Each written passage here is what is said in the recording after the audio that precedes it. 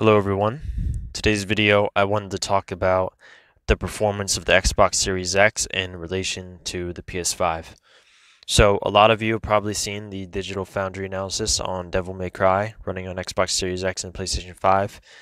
And you might have saw the fact that it ran much worse and much less consistently in the performance mode than on PlayStation 5. So I'm going to give uh, my theories on what that could be and I'm also going to show you other examples of this happening because I have watched every single game that is patched on PlayStation 5 and Xbox Series X running next to each other just to make sure that this wasn't just a one game issue, a one time thing.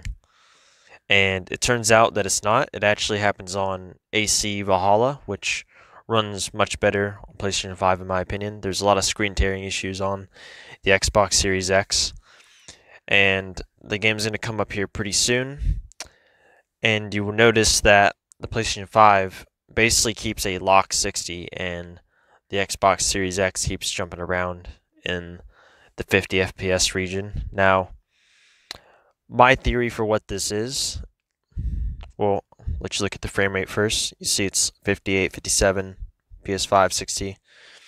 Now, my theory for what this is, is it has something to do with the CPU. Now, I know the Xbox Series X has a better CPU. They're the same architecture. Xbox Series X is slightly higher clocked, and it's not a variable, so it's constant, which means it should perform better. It should be more powerful. However, look at this screen right here.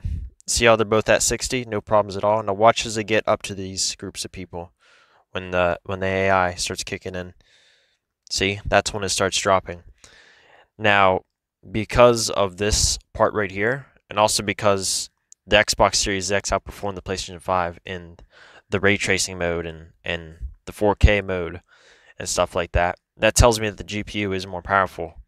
But at super high refresh rates or super high frame rates, and in CPU intensive parts of games, which both those things rely heavily on the CPU, uh, that's when the Xbox Series X falls behind the PlayStation 5 when screen tearing kicks in and when frame rates become inconsistent.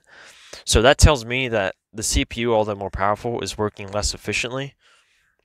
So it seems like Xbox needs to fix their SDKs. Uh, something's might be wrong with the API or something. I don't really know what the issue is, but if the games are if games are going to run at identical settings, but they're going to perform uh, worse on the Xbox Series X, then that basically means that it's weaker, although it's more powerful, and that's going to disappoint a lot of people that thought it was stronger. So this seems to be, I mean, because it didn't just happen on one game, it seems to just be a Microsoft issue much more than a Ubisoft or Devil May Cry developer issue. So I hope uh, Microsoft can fix it because I think all these consoles have a lot of potential.